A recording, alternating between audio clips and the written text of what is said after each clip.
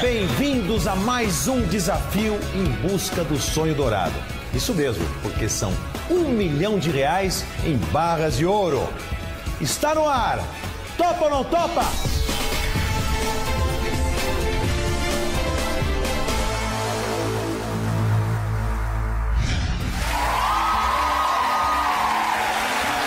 E tudo começa com um momento que parece mesmo um sonho dourado.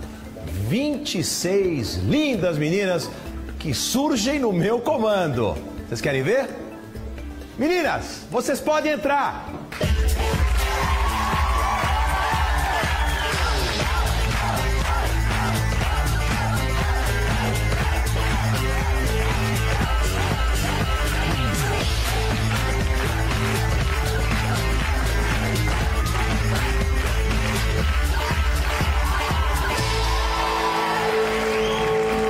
Boa noite, meninas. Eu estava dizendo, surgem no meu comando. Vocês imaginam quantos homens nesse país não gostariam de dar um comando e aí entram 26 mulheres deste gabarito, deste nível na frente deles? Imaginaram? Não imaginaram? então tá bom. Eu tenho esse privilégio, pelo menos uma vez por semana o Brasil está vendo isso. E hoje nós temos um jogador especialíssimo.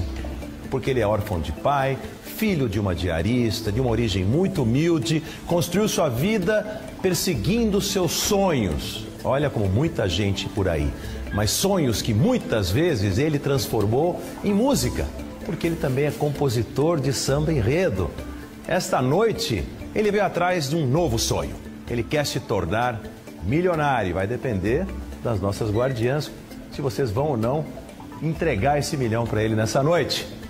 Eu espero que isso possa acontecer. Só que para chegar lá, ele vai ter que sambar demais com as propostas do nosso negociador. Oswaldo de Campos, você pode entrar.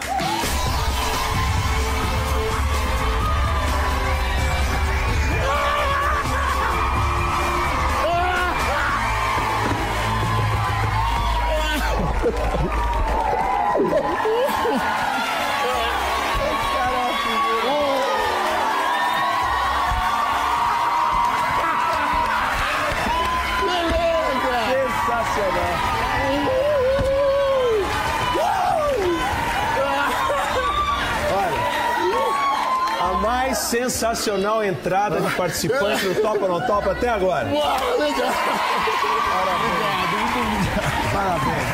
Bom, bem-vindo ao Topa ou Não Topa. Pelo jeito, uma- um acontecimento na sua vida. Nossa! Desculpa.